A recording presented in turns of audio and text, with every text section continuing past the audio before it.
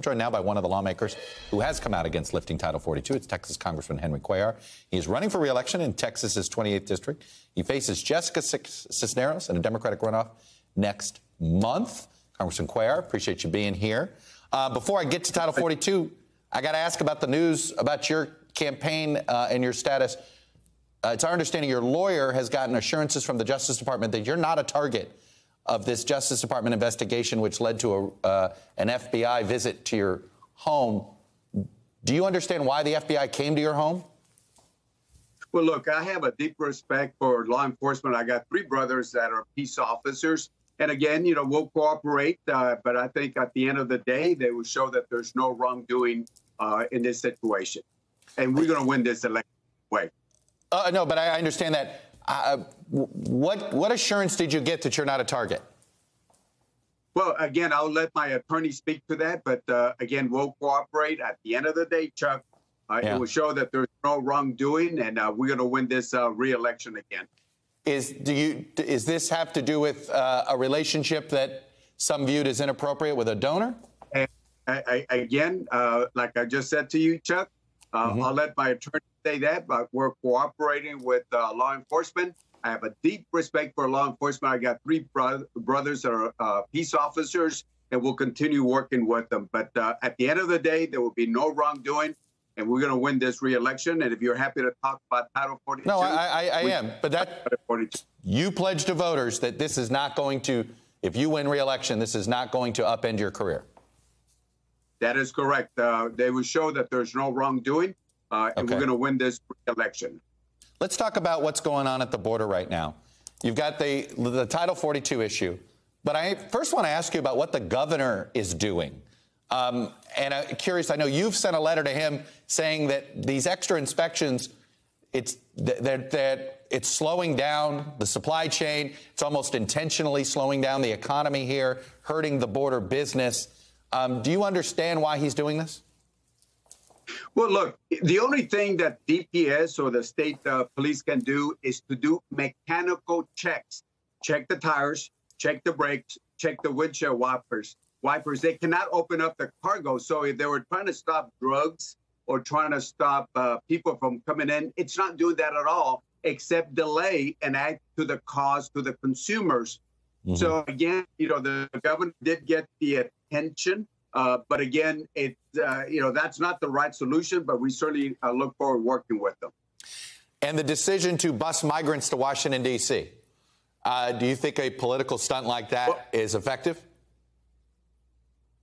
Well, again, keep in mind the uh, Arizona versus the U.S. A, a Supreme Court decision in 2012 says that the state does not have immigration policy. All he can do is get volunteers, people that want to go take a ride to Washington, D.C. And again, he's trying to get attention uh, on that, but he cannot enforce immigration law because the Supreme Court said he cannot do that.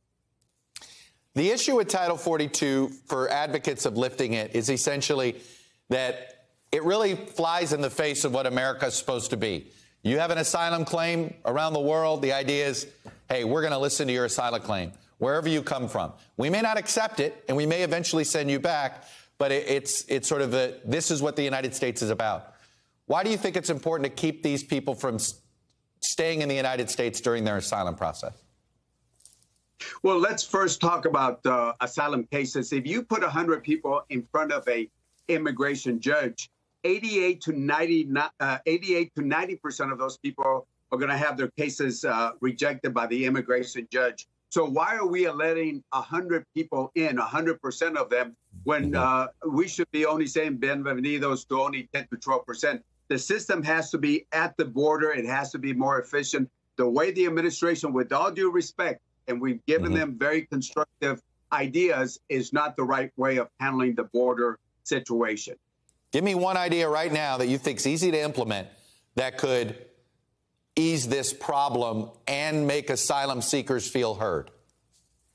Well, you know, first of all, you know, we got to give them the due uh, process. So what we do is we have uh, those immigration judges at the border and give them their day in court at that at that particular place. Uh, instead, what, what do we do with immigration judges? We send them to where the people end up in New York and Chicago and other places, Miami, We need to have more immigration judges at the border. It took me two years, Chuck, to get eight immigration judges in Laredo, where we got thousands yeah. of people that come in. So we just got to be more efficient and more effective. Title 42 is a public health issue. It's a mix message that the uh, that the White House is sending. How can we still have a public health issue order extended for 90 days and then say there's no health issue and get rid of Title 42. All it does, it becomes a, mm-hmm. a, a, marketing uh, process for the cartels to get more people into the United States. What is the hesitation about bringing the asylum court process to the border itself? I don't know. I mean, I've been fighting this uh, this issue for so many uh, years, and basically, I think uh, administrations, both Democrats, and Republicans, do it backwards. They send the judges, and I've been adding more immigration judges than anybody. They send the judges to where the people eventually end up in New York, California. It's been a struggle trying to get them to bring more judges at the border so we can give them their mm-hmm. day in court. And again, if a judge says stay, then they stay. But if the judge says go, then we got to send them back without due respect. The way Jeh Johnson uh, and President Obama were doing it, uh, right. I think we need to look at that playbook again.